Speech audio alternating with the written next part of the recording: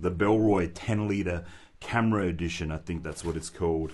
Uh, actually have the card in here. Let me not mess this up because I'm a professional. it's called the Venture Sling, the camera edition, the 10 liter. And this thing's absolutely amazing. It really, really is. Let's just go through this little booklet real quick. One handed zipper opens from both ends, creating an ultra wide mouth. Detachable and versatile with a quick slide buckle for one handed adjustment, flexible organization for phone keys, lens caps, other pocket filters Two detachable straps let you secure a tripod for easy carry.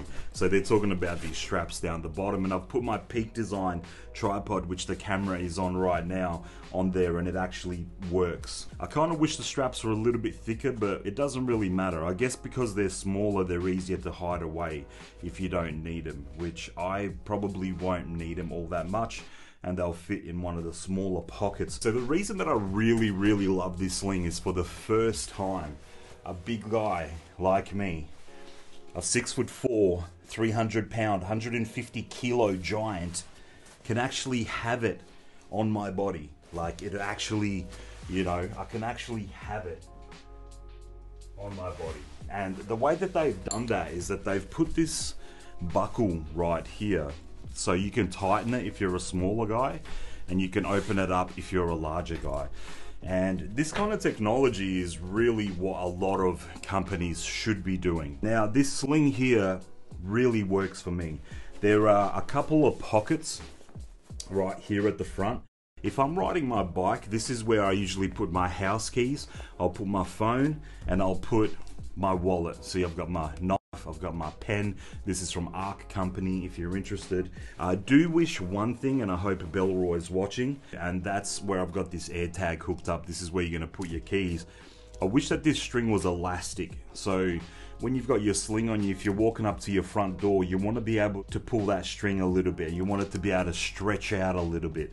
So yeah, that's something that could be improved, but the fact that they just put a string on there, I think is pretty cool. Like you see, I have my Apple AirTag on there in case your camera gear goes missing. So that's that little pocket there.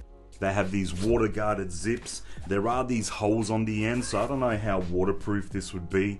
Um, I personally don't go out in the rain, so now I have this bottle in here that I've never used but it actually does fit in here. This is Memo bottle A6 size. Not sure if that helps but yeah it does work in there. I don't actually take this because when I go on my bike, my push bike, there is a bottle on the bike so I don't need a second bottle but it's always a good option to be able to throw that in there. You have these dividers which collapse as well and if you don't need to use them you can push them all the way to the side there are stretchy pockets on both ends and I have my Sony a7C with a 24 mil in here now you can put a whole bunch of different stuff in here two cameras a whole bunch of lenses. You can pack it out, but that's not really how I use it. I would throw one camera in. I actually have a Sony microphone, which is on top of the a7S III right now. So that's pretty much it. I'll just have my camera,